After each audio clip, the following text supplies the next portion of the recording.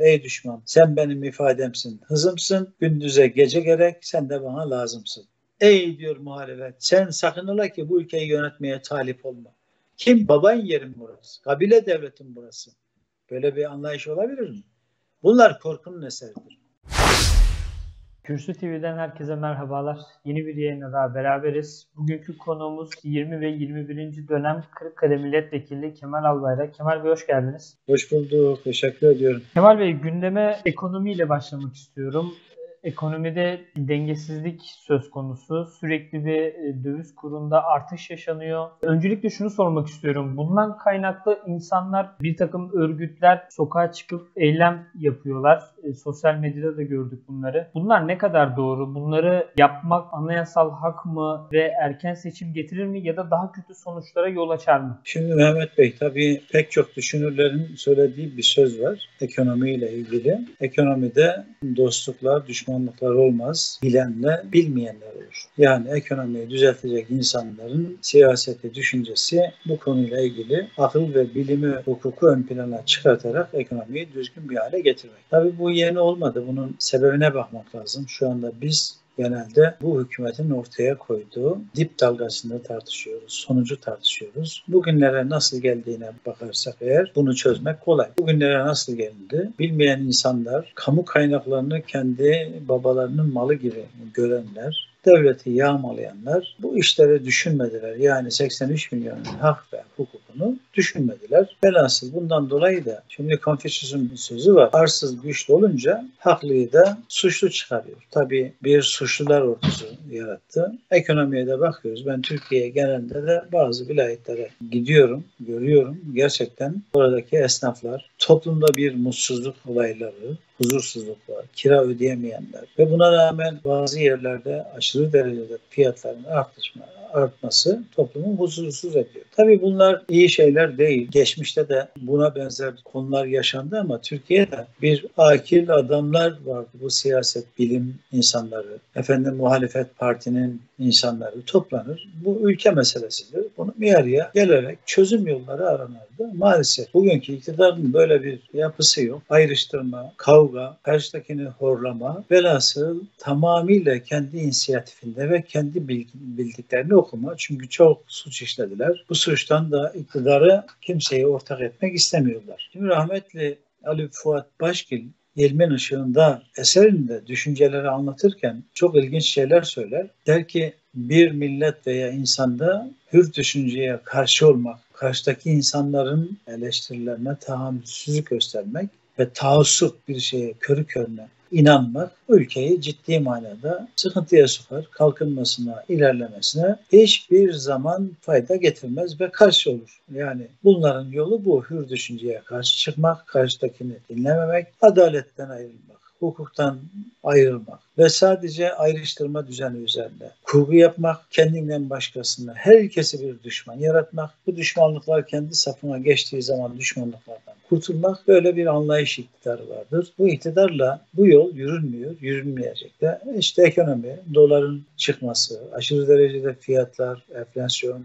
faiz konularında devamlı bir yoldan sapmalar. Kime yansıyor bu? İmtiyazlı sınıfa yansımıyor. Onlar da kar oluyor. Çünkü bu işten rant elde edenler de var. E bunları da tabii halk veya muhalefetten haklı olarak tepki gösterince eyvah hain oluyor. İşte böyle bir şey olmaz. Provokasyonlara gelmeyin. Ya ne demek? E ben de elbette ki provokasyonlara karşı olan bir insanım. Ama insanlar meşru olarak demokrasi kültüründe, yönetim tarzında yanlışlıkları meşru olarak eylemlerle dile getirebilirler. Bunda hiçbir endişe yok. Meşru olarak kırmayla, dökmeyle değil, bir takım yanlışlıkları uyarmayla. Çünkü uyarırsan belki iktidar yanlışından döner. Ama böyle bir uyarmayla da bu iktidarın yanlıştan dönmesi mümkün değil. Tamamen bireysel, her şeyi tek adamın elinde Merkez Bankası'ndaki değişiklikler. İstediğini al, istediğini ver. Kurul bile toplanmadan faizi indir, indir yukarı çıkar, çıkar. Böyle bir anlayış. Bundan dolayı da tedirginlik de var. Acaba diyor bu halk bıçak kemiğe dayandı da der her yerde İslamlar mı çıkarır diye. Ben o işe de karşıyım. Tabii toplumun ayrışmasına, toplumda bir bu sistem dışı hareketler, gayrimeşru olayları hiçbir zaman benimsemem. Ama meşru olarak da bu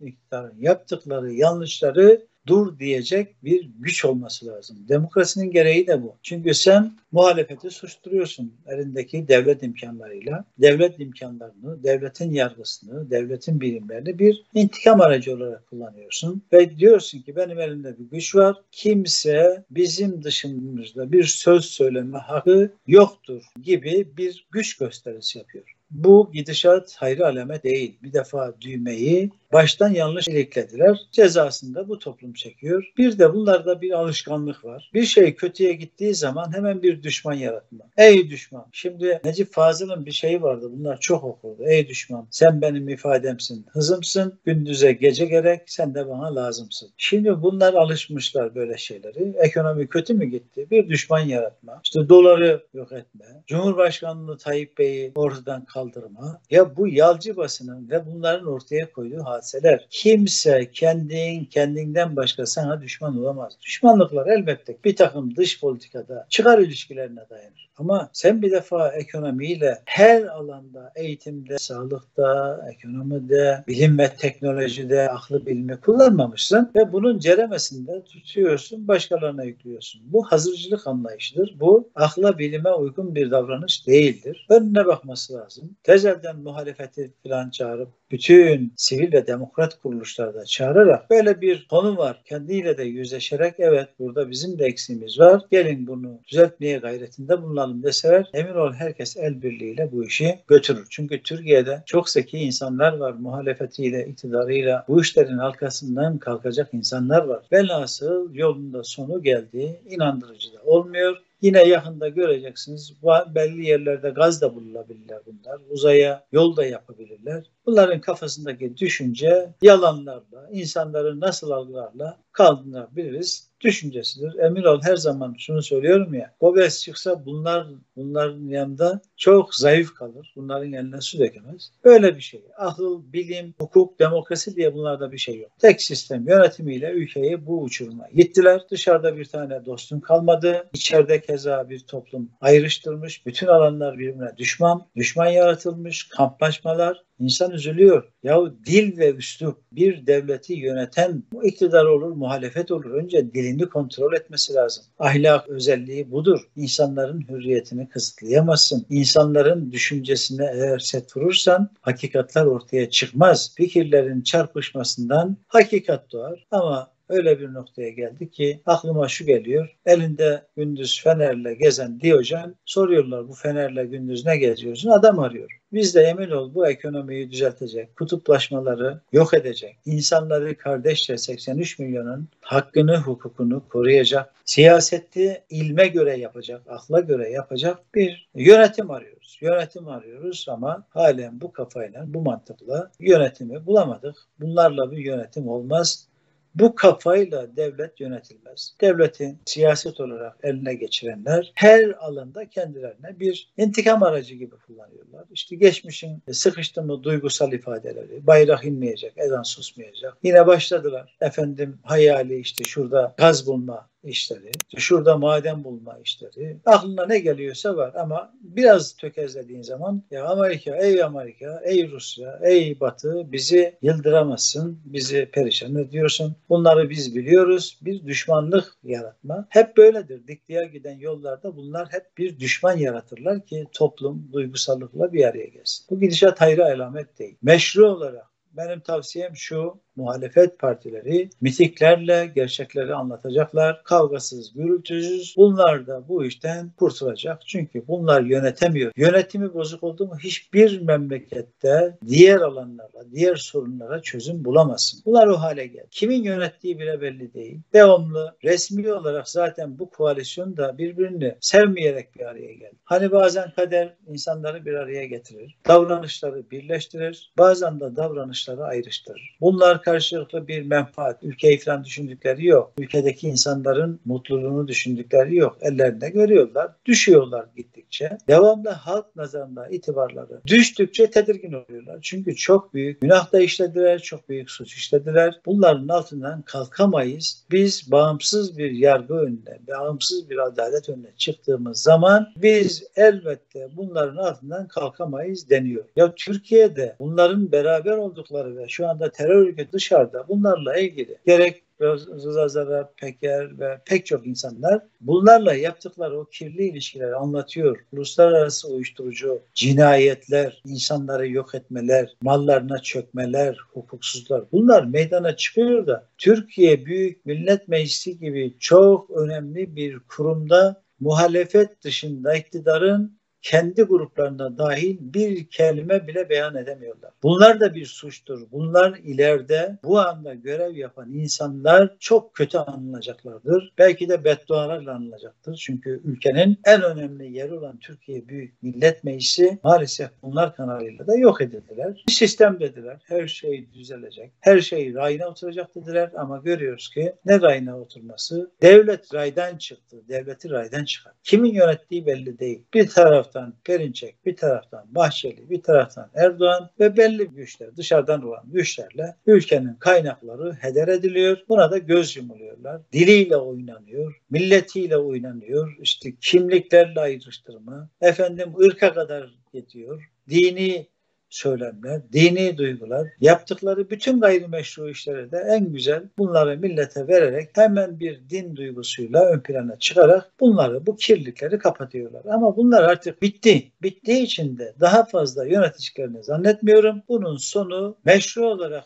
muhalefet partileri bir araya gelecek. Demokrasiye, hukuka, ahla, bilime inanan insanlar Millet İttifakı olarak da değil, toplumu aydınlatacaklar. Bunlar bir gün dahi duramaz. Bunların durması şu anda gerçekten bir beka sorunu var, yönetim sorunu var. Ülkeyi yönetemiyorlar Mehmet Bey. Peki Kemal Bey, siz daha önceki programlarımızda da bahsetmiştiniz. AK Parti içerisinde itirafçılar da çıkacak diye. 2023 seçimi öncesi bunu görmek mümkün mü? Şimdi bunu görmek mümkün. Ee, ilk defa bu konuyu ben gündeme getirmiştim. Arkasından bir tane itirafçılar çıktıydı. Bu bürokraside de böyle. Şu anda ana muhalefet partilerine bazı yanlışlıkları gerçekten milletini seven hepsine kötü demenin mümkünatı yok. Hukuka, ahla ve bilime inanan insanlar da bu yanlışlıkları muhalefet kanalıyla da götürüyor. Bu devletin birimlerinin içerisinde gerçekten duyarlı, bu milleti seven, insanlığı seven, hukuka inanan, yaptıkları işlerin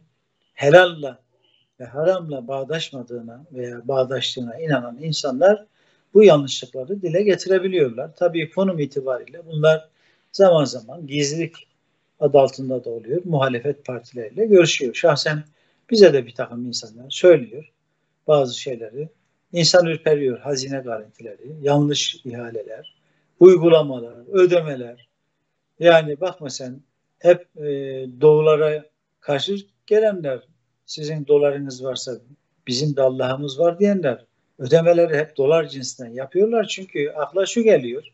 Gizlilik olduğu için acaba diyorsun ona da tabii hukuk karar verir, adalet verir ama sanki şeylerden onlardan daha iyi bunlar korunduğu için acaba diyorsun bunlarda bir ortaklık ve pay bölüşümü var diye de akla gelmeme olmuyor. Ya bunlar nedir? Bağımsız bir yargı ileride bunları ortaya koyacak. Kimse herhangi bir e, şunun suçu var deme imkanımız da yok. Çünkü elde bilgi, belge olması lazım. Zaten Sayıştay diye bir denetim mekanizmasını yok ettiler. Ne yaparsan yap. Ya enteresan mesela onun da doğruluğunu e, araştırıyor mecliste. Muhalefet önerge veriyor. Mesela 400 50 binin üzerinde insanlara çürük raporuyla maaş bağlamışlar. Bunlar acı bir olay eğer doğruysa. Çünkü 83 milyon insanın hakkını birilerine peşkeş çekiyorsun. Gerçekten mağdur olan, gerçekten yoksul olanlara bu imkanı verene kimse karşı çıkmaz. Ahlakinde bulur kendi vatandaşını korumaktır. Ama bakıyorsun hep hileyle, hukuksuzluklarla, adaletsizliklerle bir diğerinin hakkını bir başkasına peşkeş çekmek. E bunlar yapılmıyor değil, yapılıyor. Hep de gizliyorlar. Mecliste araştırma, soruşturma diye bir sistem kalmadı. İşte bütçe tartışmalarını görüyoruz. Yeri geliyor bakan terk ediyor. Ve bir en büyük makamlardan biri devletin huzur ve güvenlik koruyan, koruyacağı yerde bir bakan diyor ki açık açık işte kırın kapıyı, yıkın binayı, hukuk arkasından gelsin. Bir tanesi de diyor ki e, bizim rehberimiz hukuktur, adalettir bundan ayrılmayın diyor ama yapılanların tamamı adaletsiz. Yüzde seksen. Ya insanlar içeride yatıyor. Niye yattığını bilmiyor. Emirlerle. Efendim bir gerekçe var mı? Yok. İşte Avrupa Birliği'ndeki insanlar, Avrupa İnsan Hakları'nın verdiği ortaya koydukları bu kararlarla ilgili tazminatlar, tazminatlar şimdi geldi çattı. Nerede hukuk? Şimdi kendilerinin başına gelen felaketlerde bu iktidarın temsilcileri, bu iktidarı kuranlar başlarına felaket geldiği zaman kişisel şeylerde ey Avrupa diye onlara yalvarıyorlardı. Hukuk diyorlardı. Avrupa İnsan Hakları diyorlardı. Yok. E, NATO'ya bakıyorsun sıkıştı mı NATO diyorsun. NATO ile olan bağlantılarda da bir güvensizlik var. Bir tane dışarıda komşun kalmadı. Suriye, Irak bunların karışıklığında bugünkü yönetimin sıkıntıları var. İran'la ilişkiler, işte Yunanistan'la ilişkiler. Rahmetli Atatürk zamanında Yunanistan'la olan savaştan çıkmışız. Buna rağmen Yunanistan'ın başbakanı Atatürk'e Nobel ödülüne layık görmüştür. Bunlar ikili anlaşmalarla dayanır. Dostluklar önemlidir. Düşmanlıklar hiç kimseye fayda getirmez. Etrafımız sanki bir korku duvarı. Hiçbir. Pazartesi bakıyorsun ABD'ye. Cuma günü bakıyorsun Rusya'yla. İsrail'e bakıyorsun e, meydanlarda bu insanlara ey İsrail diyorsun.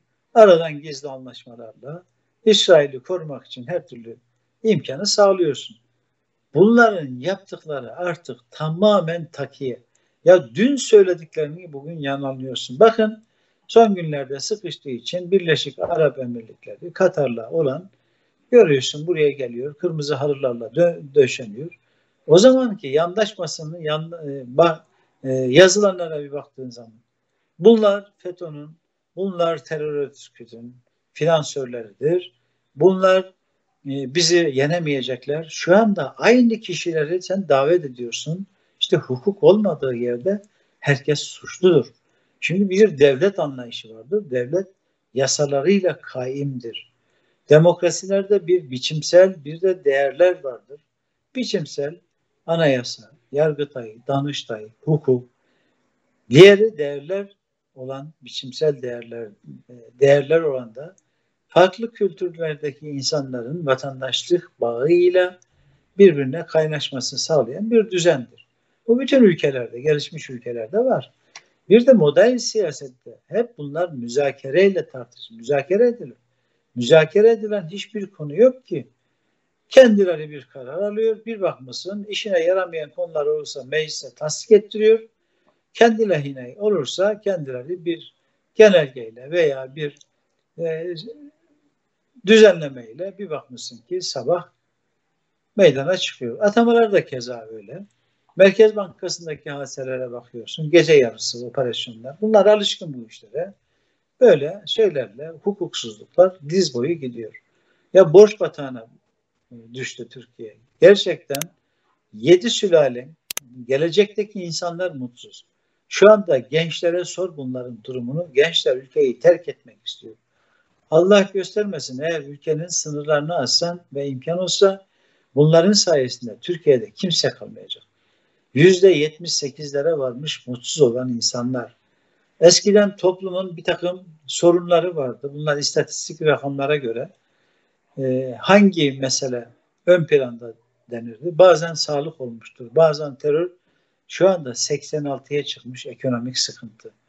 Rahmetli Demirel'in bir sözü var ya, Demirel tencere tavanın karşısında hiçbir hükümet dayanamaz. Bunlar da dayanamayacaklar. Seçimi her zaman dillendirirler. İşte seçim şu tarihte olacaktır. Ya ekonomi bitmiş bir defa. Bu işte götüremezsin. Bunların ne söylüyorlarsa zıttına bakmak lazım. Demek ki seçim de olacak memlekette 2000 bu e, seneden sonra. Çünkü dayanamazlar. Böyle bir ekonomik yapıyla gitmez. Çünkü döviz girdisi yok Türkiye'ye. İşte yatırımlar yok. Olan yerlerde tamamen sattılar. Bir ithal cenneti oldu. AVM'lere bir bakın. %75'e varan ürünler hep ithalle dolu. Üretici perişan, çiftçi perişan, kira ödemiyorlar insanlar. Enteresan e, bir e, kirasını ödeyememiş bir kişi Dikmen tarafından geçerken çok ilginç bir şey söyledi. Ya bu derdimizi Peker'e bile söyledik. Ne kadar acı bir olay, ne kadar bir acı. Kimden kimden medet umuyorlar? Devlet temsilcileri şu anda bu ülkeyi yönetemiyorlar. Bu iktidarın bu ülkeye bir beka sorunu yarattı. Bunların acilen gitmesi lazım. Demokrasilerde seçimle gelmek ilkedir ama ahlakı olan seçimle gitmek de vardır. Bunlar inşallah seçimle gidecek. Bunu kendileri görüyor ama buna bir kılıf hazırlamaya çalışıyorlar. O kılıfı da henüz bulmuş değiller. Bu toplum oligarşiye, dikliğe karşıdır. Bunlar ne yaparsa yapsınlar milleti korkularla ey diyor muhalefet sen sakın ola ki bu ülkeyi yönetmeye talip olma. Kim baban yerin burası? Kabile devletin burası. Böyle bir anlayış olabilir mi? Bunlar korkunun eseridir. Bizim mirasımız bunlara meydan vermeyecek inşallah. Peki Kemal Bey çok teşekkür ederiz değerli yorumlarınız için. Ben teşekkür ediyorum Mehmet Bey. Bunlar düzelecek. Bunlar son çırpınışları. Çırpındıkça da batıyorlar. Battıkça da yok ediyorlar. Kendileri belki teşvik de ediyorlardır. Farkında değiller gibi gözüküyor belli. Kendi zengin ettikleri insanlar ülkeyi terk ediyor. Kendi zengin ettikleri. Nereye gidiyor bir bakın. Hukukun olduğu yere gidiyorlar. Şeye de gitmiyorlar. Suudi Arabistan'a veya Afrika'ya da gitmiyorlar. Hukukun olduğu yere kaçıyorlar. Ama inşallah gelen iktidar da adalete karşı adaleti getirecekler ve bunlar adaletin karşısında hesap vereceklerdir. Soygunculara bu memlekette huzur olmayacaktır. Ben buna inanıyorum ve güveniyorum. Ülkemiz için, Türkiye'miz için yarının bugünden çok daha iyi olması dileğiyle Kürsü TV'den bir yayınımızın daha sonuna geldik. Hepinize iyi günler diliyoruz. Hoşçakalın.